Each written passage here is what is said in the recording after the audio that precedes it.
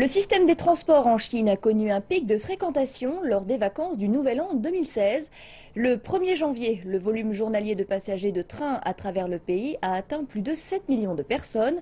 Des villes comme Shanghai, Beijing et Guangzhou ont le plus contribué avec un volume de passagers atteignant respectivement 2 millions, 1 million et 1,2 million. Et à Suzhou, vendredi, le flot de véhicules a atteint plus de 1,1 million, soit une augmentation de 11% par rapport à l'année dernière.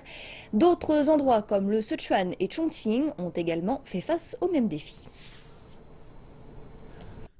Le week-end de trois jours du Nouvel An 2016 est un défi immense pour le système ferroviaire chinois. Cela fait suite au lancement du train à haute vitesse qui lie les villes du sud-ouest, Chongqing et Chengdu. Les autorités ferroviaires à Chengdu ont prévu 10 trains en plus et une voie supplémentaire pour permettre de relâcher un peu la pression. Des guichets de vente de tickets supplémentaires ont également été installés. La plupart des tickets de train Chongqing-Chengdu partent avant dimanche après-midi ont été vendus. Il ne reste que quelques tickets pour dimanche matin.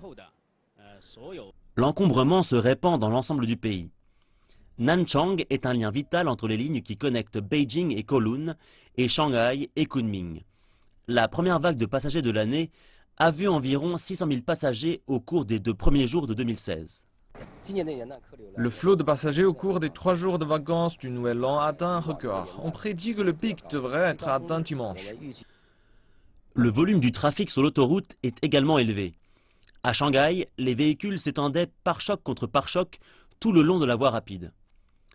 Parfois, il semble que les vacances en Chine ont besoin d'au moins trois jours car beaucoup de temps est passé à attendre.